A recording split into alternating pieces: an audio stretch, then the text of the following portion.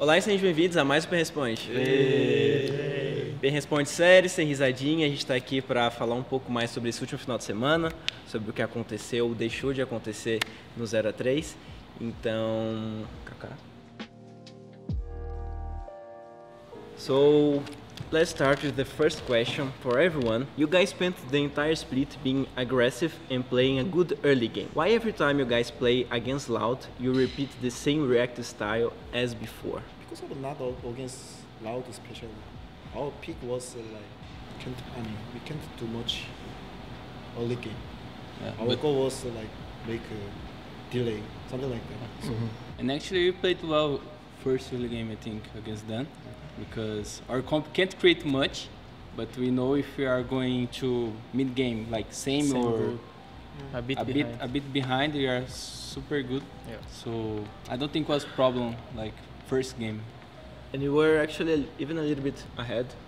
So even though we had like kind of reactive peaks, we we punished them when enemy mistakes. So even second game too. no? Yeah, second we- Uh, only problem was Herald. Uh-huh. We could play didn't want better. to lose the Herald, but So second question. Actually, we receive a lot of questions like that. They are asking about drafts. Coincidentally, John Ray is here to answer them. So why we insisted on the same draft in the second game, and why did we ban Zeref in the second game, even though it wasn't that much of a problem, and why we let LeBlanc and Nocturne open because they destroyed us, and why we didn't ban Poppy in the other two games because she destroyed our plans every game as well. So of course we can't go that deep on answering those questions because we still have more games to on Cibilo. But uh, of course, after the first game, we considered if we should change our comp or if we should kind of do the same.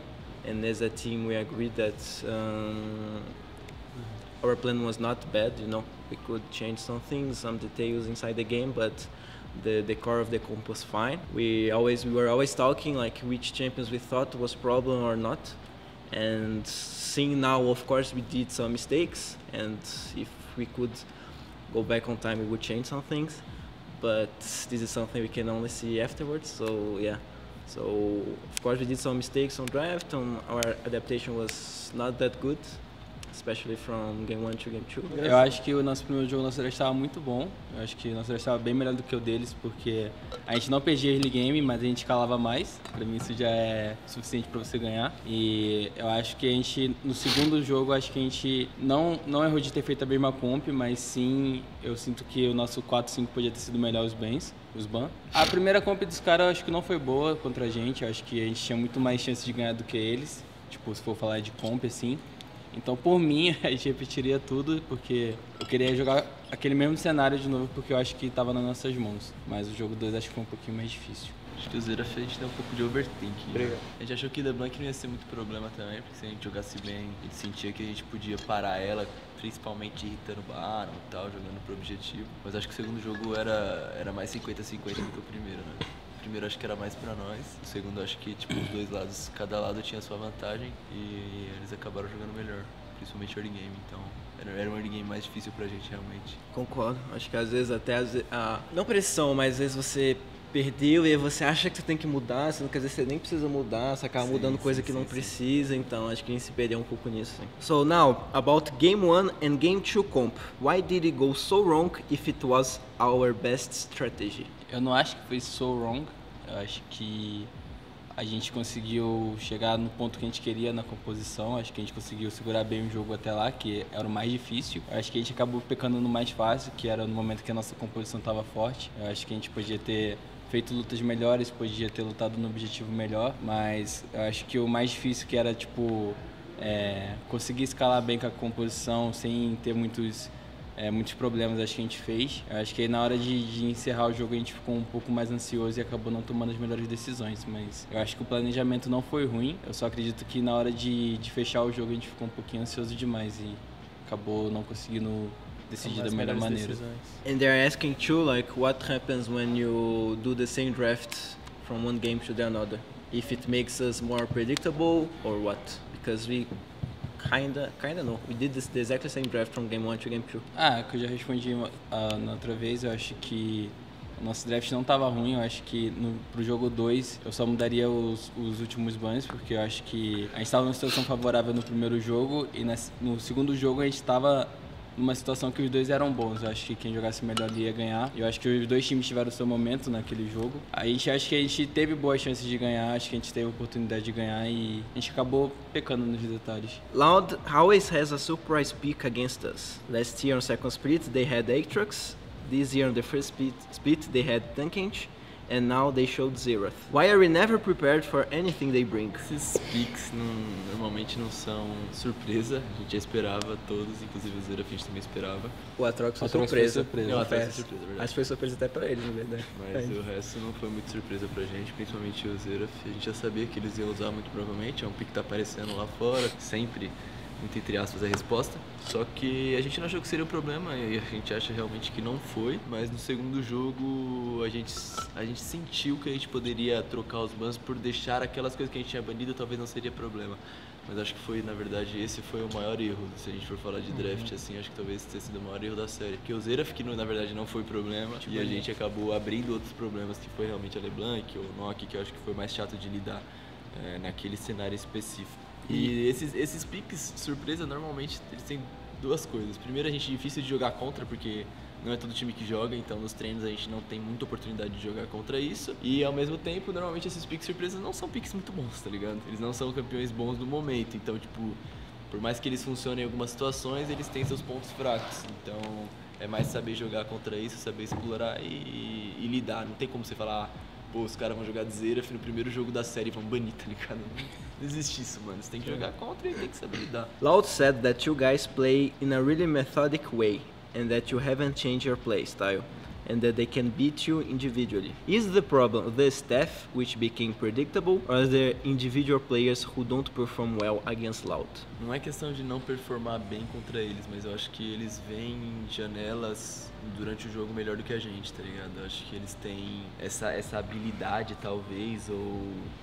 Tipo, muitas das plays que eles fizeram era pra ser pior do que foi pra eles, era pra gente ter punido mais, só que a gente não viu isso na hora, talvez por a gente estar numa. Meio que confortável em querer escalar um pouco e não punir os momentos em que eles deram brecha. Então acho que talvez isso é um ponto que a gente quer melhorar, que a gente está focando durante o split, que eu acho que a gente focou bem. Só que talvez nessa série de novo a gente não, não conseguiu abusar bem, que é tipo procurar a janela quando, quando eles erram, quando eles andam muito pra frente, eles não merecem, tá ligado? Então eu acho que esse é o ponto principal quando a gente fala de jogar contra a Loud. Eles e a Red, pra mim, são os dois times que fazem isso melhor. Mas isso não necessariamente é um ponto só forte, tá ligado? Isso também muitas vezes é um ponto fraco, porque muitas vezes você acaba é, se colocando numa situação onde você não tem controle, tá ligado? Então, por isso que a Red é um time que muitas vezes é punido, a própria Loud também, porque eles são times que gostam de jogar meio que no limite, procurando janelas a mais, tá ligado? E acho que talvez nos drafts que eles jogaram, eles não, não, er, não tinham tanto risco, mano, nessas plays. Talvez Alistar pode mascarar isso um pouco, porque ele tem consegue sair Kaut, talvez LeBlanc, porque LeBlanc não tem muito risco também, então acho que isso pode ter sido ponto importante durante essa série. Next question. Losing is not the problem. Why but why you guys keep losing in that way to Loud? Where does it come from? Against other teams this doesn't happen and I don't believe they are much superior to you. We even have great players and players that in my opinion are better than Loud ones. The problem is there, but why? Isn't it better to face this and treat Loud as a real problem? A gente tem que enfrentar eles como qualquer time, tá ligado? Eu acho que esse negócio de querer colocar eles em outro patamar já tá errado, porque se a gente vai assistir os jogos como são, tipo, não são jogos que é totalmente deles, são jogos que muitas vezes a gente teve a oportunidade de ganhar, muitos jogos que a gente estava jogando melhor que eles, mas acabou não finalizando, igual foi o jogo 1. Então acho que você já colocar eles nesse patamar a mais, eu acho que já, já seria um erro, porque você vai entrar pensando que você tem que fazer mais do que você tem que fazer, tá ligado? Sendo que se a gente fizer o nosso certo, a gente vai ganhar. So next question. Why when Aegis provoked defense, our team answered and crushed in the gameplay and even shouted on stage. But when playing against Loud, the humiliation that defense suffer from the players and fans every game is not considered. Is it fear? Is it trauma? What is the reason? Tipo, é muito de draft pra draft, tá ligado? O draft contra a Red possibilitava, possibilitava a gente fazer muita coisa. O draft deles, na, eu acho que era um draft bem fraco assim no começo. A gente tinha aquele early game mais agressivo, a gente fez mais coisas, muitas vezes por demérito deles também, então a gente conseguiu punir mais. Claro que a gente se sente incomodado, a gente quer ganhar deles também. Tipo, meio que também não é nosso estilo ficar gritando. Acho que a gente espera o jogo, a gente ter o controle absoluto do jogo para poder falar, porque a gente sabe que isso pode atrapalhar a gente no meio do, da nossa comunicação. Okay, so let's go to the last question. Do you guys think you can win the lower bracket and go to the finals? Can we go to the finals? Why question is like that? How we can say like No. Pô, é meio impossível a gente não falar que a gente vai ganhar lá, que a gente vai chegar na final, porque senão todo o nosso trabalho não levaria em conta se a gente tem medo de jogar contra algum time por alguma situação. Então, tipo, mesmo que a gente tenha tomado um 0-3, não seja bons jogos, tudo aconteceu, a gente continua querendo ganhar, a gente tem nossa segunda chance. Agora a gente vai treinar mais, tentar melhorar mais ainda e, tipo, provar para vocês que, que a gente merece, que a gente consegue, não só provar para vocês, mas provar pra gente mesmo que esse fim de semana que a gente teve não mostra todo o nosso potencial, todo o nosso jogo. Então, acho que a resposta óbvia é que a gente vai chegar na final, que a gente quer e vai dar nosso máximo para chegar na final e fazer um resultado diferente. Chegamos ao fim de mais o Pen Responde. Espero que a gente tenha conseguido sanar um pouco das dúvidas de vocês sobre esse último final de semana, sobre o que rolou, deixou de rolar. Eu sei que pelo resultado muitas coisas ficam no ar, muitas coisas ficam em aberto, assim, muitas dúvidas surgem. E a única coisa que eu quero é que vocês tenham certeza de que a gente está trabalhando dia e noite para conseguir consertar isso, para conseguir correr atrás do nosso objetivo. O campeonato ainda não acabou, longe disso, a gente está bem confiante, a gente está bem animado de conseguir mostrar um jogo bem melhor nesse domingo, de poder mostrar a verdadeira PEN, a PEN que vocês merecem, a PEN que todo mundo espera. Posso falar por mim, né? Eu tenho confiança em todo mundo aqui individualmente, tenho muita confiança nesse grupo aqui também. É mais vocês saberem que, obviamente, mano, a gente sabe, a gente também ficou muito frustrado com o resultado, não era algo que a gente esperava, não é algo que a gente queria, obviamente. E a gente está buscando os pontos principais, os detalhes principais que fazem com que a gente não tenha o mesmo desempenho é, e não tenha, tipo, essa decisividade quando a gente precisa pra gente não, não passar mais por isso. Obviamente a gente tem agora um fim de semana a enfrentar, não tem como a gente pensar na final, a gente tem que pensar no, no próximo adversário, a gente não sabe se vai ser NTZ ou Red ainda, mas a gente tem que ganhar deles, então a gente está focando mais no nosso e a gente vai conseguir achar esses detalhes pra gente vir mais redondo é, contra eles e também para uma possível final. E de qualquer forma a gente está bastante confiante ainda, acho que a gente não se deixou abalar pelo que aconteceu. A gente sabe que tipo, tinha muita coisa que a gente podia ter feito de melhor, mas felizmente a gente consegue enxergar isso, então a gente, a gente pode vir para uma série bem melhor. Vindo o Red ou NTZ, a gente acha que a gente tem total capacidade de ganhar deles, então é um passo de cada vez. Agora é uma MD5 a mais, mas o caminho é igual e a gente está muito confiante. Bom, dito isso, então a gente se vê no domingo.